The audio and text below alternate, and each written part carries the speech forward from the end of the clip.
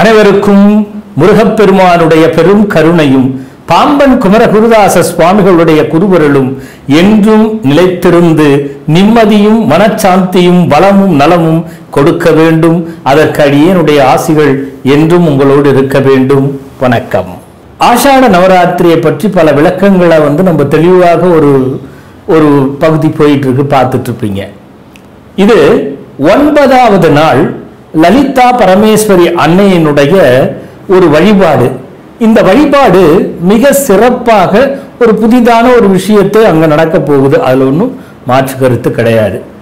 இந்த கால சூழ்நிலை லாக்டவுன் அப்படிங்கிற ஒரு கால சூழ்நிலை நிறைய பேர் இந்த ஒன்பது நாளும் கலந்து கொள்ள முடியாதுங்கிற ஒரு விஷயம் இதெல்லாம் மனசுல இருக்கும். நிறைய பேருக்கு ஐயோ நம்ம போய் ஒன்பது நாள் இருந்திருந்தா நல்லா இருக்குமே வழிபட்டு இருக்கலாமேங்கிற எண்ணங்கள் தோய்ந்தவங்க பல பேர் இருப்பீங்க. வரவே முடியாத ஒரு சூழ்நிலையும் இருக்கிறது.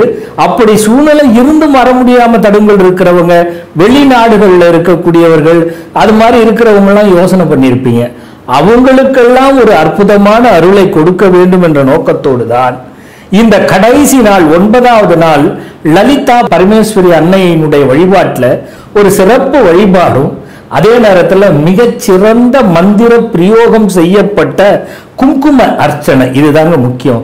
இப்போ வந்து பார்க்க முடியல வர முடியல கலந்து கொள்ள முடியலன்னு நினைக்கிறீங்க பாருங்க. உங்க எல்லோருக்கும் இந்த ஒன்பது நாளினுடைய பலனும் கிடைக்க வேண்டும். ஒன்பது அன்னையனுடைய பலனும் கிடைக்க வேண்டும் என்ற ஒரு நோக்கத்தோடு தான் இந்த வழிபாட்டினை நேரலை அரிசியாக அன்னைக்கு நீங்க பார்க்க போறீங்க. ஒன்பது தேவியரையும் நீங்க தரிசனம் பண்ணுவீங்க. பண்ணிட்டு இந்த குங்கும அர்ச்சனையும் நீங்க பார்ப்பீங்க.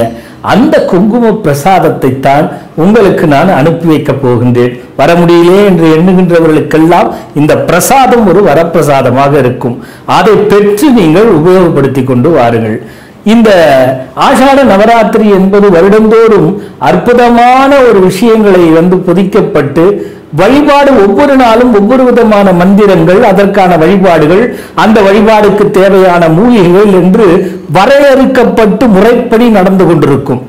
இந்த முறைகள் எல்லாம் கலந்து கொள்ள முடியாதவர்களுக்கெல்லாம் ஒரு வாழ்க்கை தர வேண்டும் என்ற எண்ணத்தை கருதி அதை நேரலைவரிசையிலே கண்டு அந்த குங்கும பிரசாதத்தை பெற்று வளமும் நலமும் என்றும் நிலைத்து வாழ்ந்திட இந்த ஆண்டு ஒரு வாய்ப்பாக இருக்க வேண்டும் என்று கொடுத்திருக்கேன் ஒன்று அன்று ஒரு சிறப்பு வழிபாடு இருக்கிறது. அதை நாம் நேர் அலைவரிசையில் காணலாம். ஆக இந்த குங்கும பிரசாதத்தை பெற்று ஒன்பது நாள் ஆஷாட நவராத்திரியினுடைய ஒன்பது அன்னையினுடைய அருளையும் ஒவ்வொருவருக்கும் கிடைக்க குடும்ப வளம் நலம் நல்ல சந்ததிய சகீதமாய் நன்றாக இருக்கவே இந்த வழிபாடு. கண்டு மகிழுங்கள். பிரசாதத்தை பெற்று பலமாக வாழுங்கள். அடுத்த பதிவோடு பார்க்கிறேன். வணக்கம்.